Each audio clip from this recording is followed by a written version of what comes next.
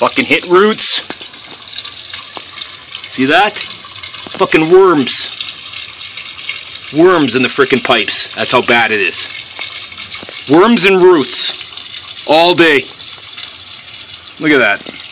Shit everywhere.